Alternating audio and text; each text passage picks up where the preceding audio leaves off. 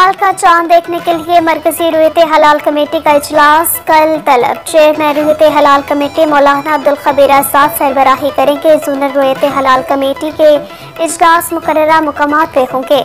माहरीन फल्कियात के मुताबिक इस साल पाकिस्तान में उनतीस जबकि सऊदी अरब में तीस रोज़े होंगे। पाकिस्तान और मिडल ईस्ट में ईद उल एक ही दिन होगी।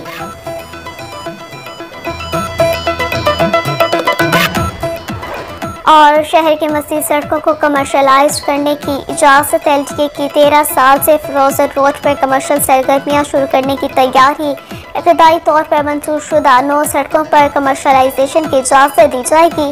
फ्रोजन रोड से कमर्शलाइजेशन के मत में ग्यारह अरब पचास करोड़ रुपए के रेवेन्यू का तखमीना लगाया गया है।